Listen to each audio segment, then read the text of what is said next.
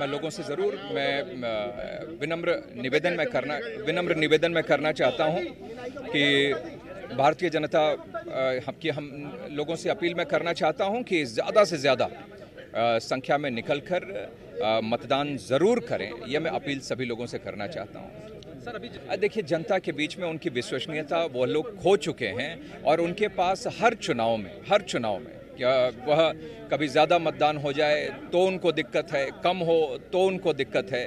तो इसीलिए मैं समझता हूँ कि अपनी विश्वसनीयता वो खो चुके हैं और इसके अलावा सिर्फ़ सवाल उठाने के अलावा वो और कुछ कर भी नहीं सकते। अब बिल्कुल मैं बहुत बहुत कॉन्फिडेंट हूँ इस बात को लेकर कि इस बार बाकी पहले से भी कहीं ज़्यादा अंतर से विजय यहाँ पर मिलने वाली है हमारे मेयर को भी और जो भी हमारे पार्षद लड़ रहे हैं उन सभी को भी उसकी संख्या भी पार्षदों की संख्या भी लखनऊ में भारतीय जनता पार्टी की 100 परसेंट बढ़ने वाली पंकज जी एक बड़ी चीज़ ये है कि जो मेयर हैं उनकी जो एग्जीक्यूटिव पावर है पिछली सरकारों ने उसको छीन लिया था बीजेपी की पिछली पाँच भी सरकार रही है, आप खुद भी विधायक हैं, इनकी पावर कैसे वापस आएगी? क्योंकि चुना हुआ नुमाइंदा जवाबदेह है, अधिकारी नहीं।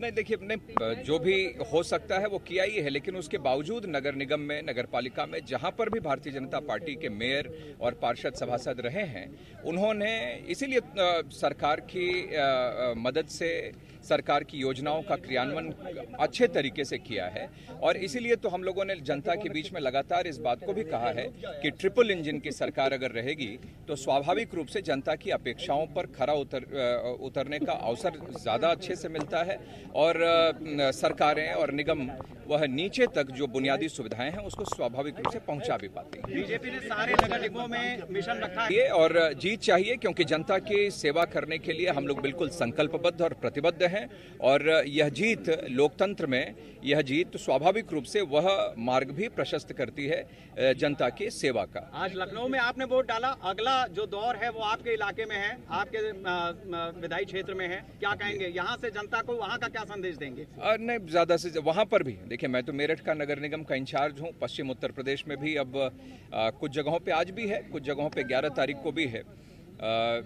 वहाँ पर भी मैं लगातार नज़दीक से देख रहा हूँ स्थिति बहुत अच्छी है। मैंने कहा कि ऐतिहासिक सफलता भारतीय जनता पार्टी को निगम निकाय और पालिका के चुनाव में मिलने वाली है।